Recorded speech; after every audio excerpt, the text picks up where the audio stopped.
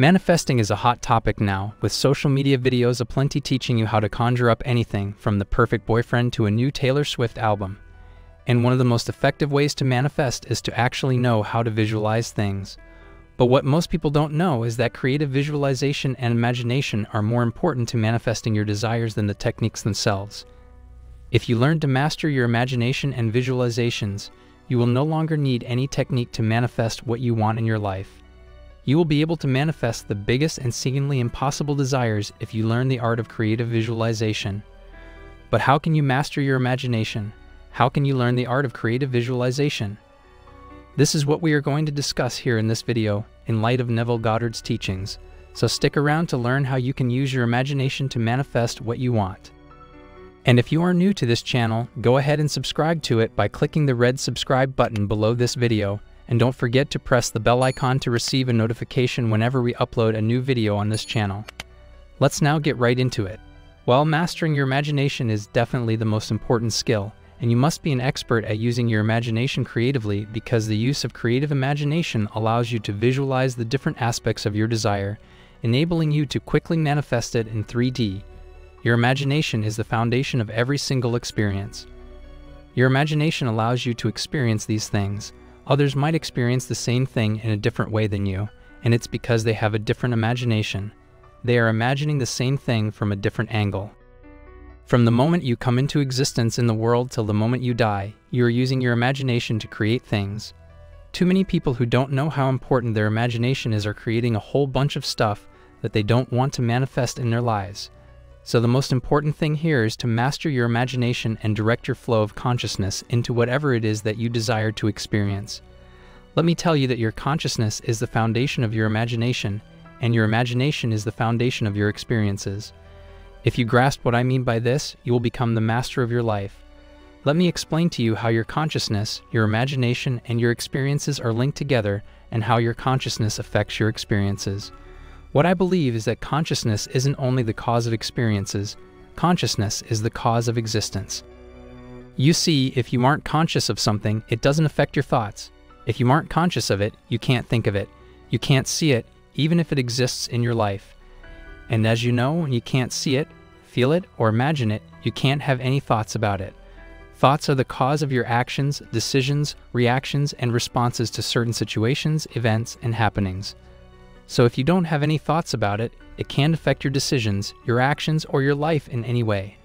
What I'm trying to explain to you is that if you aren't conscious of something, it can affect your life in any way because you can't think about it, you can't feel it, and you can't imagine it. Now let's take a glance at what happens when you become conscious of something. Well, consciousness is the first step, and imagination is the second step. When you become conscious of something, you can imagine it. You can have thoughts about it, you can imagine different aspects of it. It implies that it can now affect your experiences and your overall life. In what way it affects your life completely depends on what sort of thoughts you have about it and how you imagine it. That's how consciousness, imagination, and experiences work. Let me put all that in one single sentence. When you become conscious of something, you allow it to affect your life, but what way it affects your life depends on how you imagine it. The importance and role of your imagination are obvious, but the question is how you can master it because when you can control and direct your imagination, you can manifest your desires no matter what they are.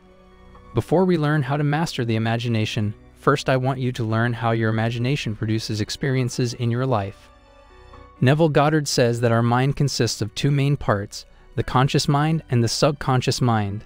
Psychologically, these two parts of the mind and the interaction between them determine the experiences in our lives. Our conscious mind gathers data from all the senses that help us be conscious of things. How do we become conscious of things and their existence? We use senses, like the sense of hearing, eyesight, and the sense of tasting things. We use all these senses to be conscious of things. The sense of hearing enables us to know the sound of something. The sense of taste allows us to taste foods and other things. These senses send the data to our conscious mind, and on the basis of that data, the nature of our thoughts is determined. For example, if your eyesight tells your conscious mind that a particular thing is incredibly beautiful, then you will probably be surprised. And if your sense of smell tells you that a particular thing has a bad odor, you will move away from that place. The crucial concept for you to understand is how the conscious and subconscious minds are interlinked. Well, Neville Goddard suggests that although our conscious mind is the cause of our consciousness, the conscious mind doesn't affect our reality much because your perception is more important than your consciousness. How you perceive a particular object or thing is of immense importance.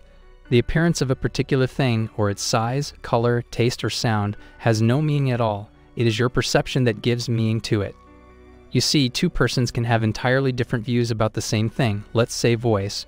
For one person, a particular audio track may be very soothing, but for another, the same voice can be very noisy. Why are their views about the same thing different? Well, it's because the two people are perceiving the same voice differently. So the question is, what is the thing that shapes our perception? Perception is developed over time. As you grow older, your views about things change. The things that used to be beautiful some years ago can be very ugly to you right now. Time is the basic factor in developing and shaping perception, but there are various other elements that affect the development of your perception, for example, where you have been living, whether your family was rich or poor, what religion you follow, what is your education, and what beliefs you are carrying. Let me tell you that again it is your consciousness that determines your perception.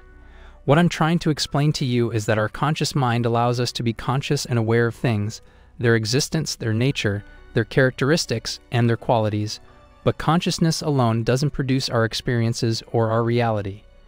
It is actually our perception that determines the nature of our response to a particular thing or situation, and it all ultimately defines what sort of experiences we are heading to have. Our conscious mind, in collaboration with our perception and subconscious mind, produces the reality that we experience in our lives. Our subconscious mind is the key element here. As we have discussed, becoming conscious creates thoughts in our mind. But what's important to understand is that not all thoughts affect our life. We become conscious of hundreds of things each day, and they create millions of thoughts in our minds. But not all the thoughts affect our reality. Just a fraction of thoughts is passed to our subconscious mind. The subconscious mind depends on what's coming from the conscious mind. The subconscious mind affects our lives. It acts like a programmed machine that already knows what sort of output to give in a particular situation. The thoughts passing from our conscious mind to our subconscious mind can be termed instructions or inputs, and what we experience, what we do, and what sort of attitude we carry in real life are products and outputs of that. So the actual question here is how you can direct your conscious mind to send only some particular and chosen thoughts to your subconscious mind so that you can experience only the desired things in your real life. Well, the answer to that question is using creative imagination and visualization. Our imagination is actually our perception. We are already conscious of something, but how we imagine it and what we think and feel about it is how we are perceiving it. So, to change your perspective, you have to master the creative imagination and visualization. And to do that, what I suggest is to know your higher self. What is your higher self is? Your higher self is the version of you that you want to be. Know who you want to be when you are clear on who your higher self is, start making use of your creative imagination. Means start imagining that you already have become who you wanted to be or that you already have gotten what you wanted to get. Not only imagine, but do that creatively. Now, here is the need to explain to you what creative imagination is or how you can imagine creatively. Imagining creatively is similar to thinking creatively. It means don't just assume your desire, but imagine the after effects of your desire. What will happen when you successfully manifest your desire? What will you do after manifesting your desire? Let's say you want to manifest $1 million. Don't just think about $1 million. Think about what you will do after getting $1 million. Think about that creatively. Maybe you will buy your dream car. So, what will you do after you buy your dream car? Perhaps you will go on a long drive with your wife or your girlfriend. Maybe you will buy a new brand of home.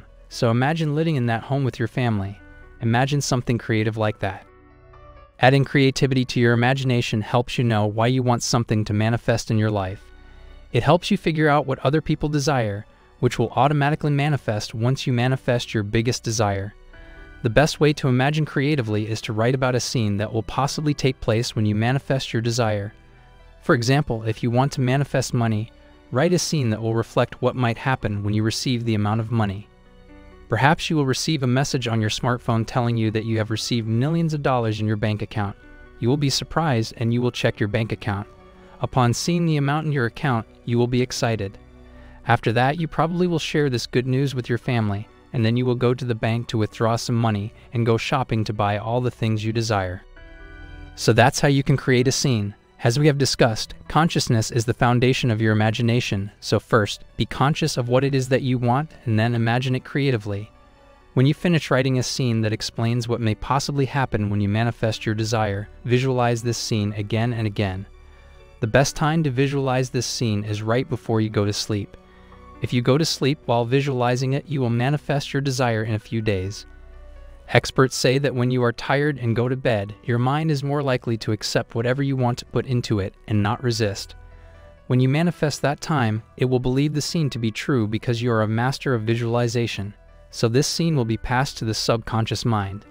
The subconscious mind will automatically manifest it in the physical world since the subconscious mind accepts everything coming from the subconscious mind. So guys, that's how you can make use of creative visualization to manifest your desires. If you understand and employ this, you will no longer need any technique to manifest your desire. Your imagination will enable you to do so effortlessly. I hope I was able to deliver a good analysis of this quote by Neville Goddard. And of course, this doesn't mean we agree with every single thing he said or believed in, because in the end, everyone will form his or her own opinion, and that is why we are analyzing and discussing his ideas and methods to fully understand his approach and general ideas, as he was a great mystic and writer in the previous century. His teachings have brought revolution and a complete change to the lives of millions of people. People who studied his teachings and applied them to their lives became successful in every part of their lives. If you want to share your opinion, comment down below this video. And if you haven't subscribed to our channel, please subscribe to it and press the bell icon for more interesting, informative, and helpful videos on manifestation. Thanks for watching. See you in the next video.